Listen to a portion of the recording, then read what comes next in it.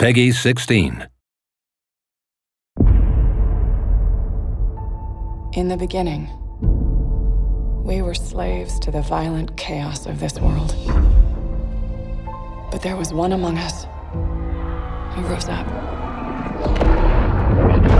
to lead us out of darkness.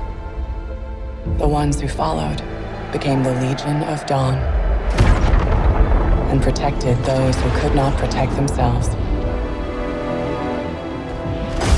End, she traded her life for our future.